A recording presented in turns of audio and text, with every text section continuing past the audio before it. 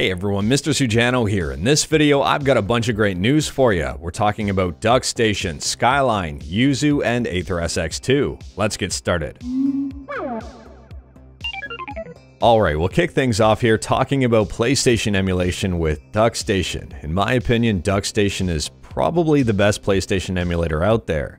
Earlier on this year, Stenzek, the developer of DuckStation, had a massive disagreement with RetroArch, and the result was Basically, Stenzek no longer interested in working on the open source version of DuckStation.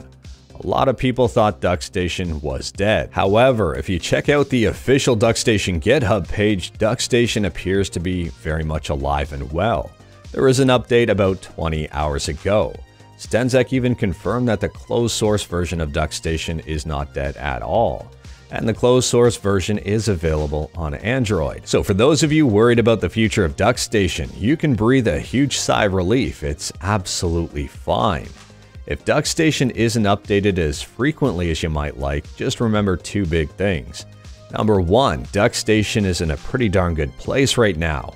And number two, Stenzek, the developer of DuckStation, has been absolutely killing it with PCSX2.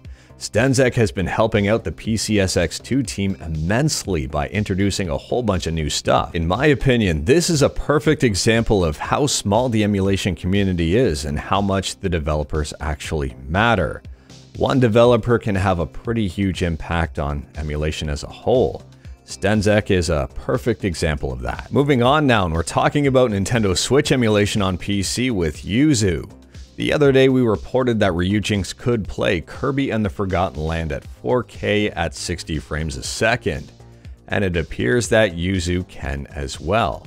Thanks to the collaboration with the Boy 181, Yuzu is running Kirby and the Forgotten Land at 4K resolution, 60 frames a second, and 21 by 9 aspect ratio support. On top of that, the Yuzu development team has identified a pretty massive VRAM issue for NVIDIA GPUs.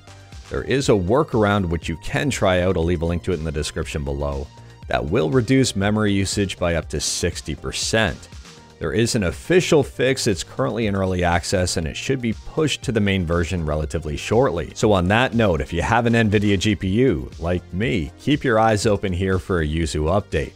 As soon as I know more, you'll know more. Moving on, and we're still talking about Nintendo Switch emulation, but instead of PC, we're on Android now. We're talking about Skyline.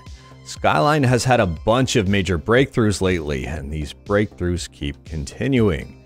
Super Mario Odyssey, you can see 3D rendering is coming along nicely. We can now see Mario and Cappy pretty darn clearly. It's not 100% there, but it's getting better. So I'm just going to take a second here to give the Skyline developers and actually their community as well a big shout out. Thanks for being amazing and keep up the great work.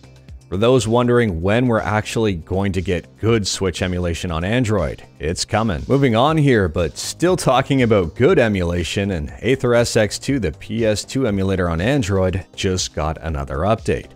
We talked about these details in the past as they showed up in an alpha version, but if you have Aether SX2, make sure to keep it updated. When you update it, make sure to reset all of your settings just to make sure everything works okay.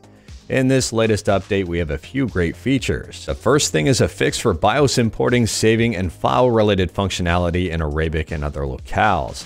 They fixed inverted touchscreen layout in the Arabic locale. And this last one here, a lot of people are really excited about. They've added in support for macro buttons. If you like macros, Aether SX2 now supports it. If you want to learn more about the macro buttons, I'll leave a link to Aether SX2's official Patreon page in the description below. Feel free to check it out. They're explained in detail here. There is support for four macro buttons in total. But anyways, that is all I've got for you in this one. Straight to the point, all stuff and no fluff. Let me know your thoughts about anything we talked about today in the comments below, whether it was Aether SX2, Skyline, Yuzu, or even DuckStation. Let me know in the comments below. If you like this video, leave a like. If you didn't like this video, leave a like. Hit that subscribe button, check out my other videos, don't tempt fate, save your state.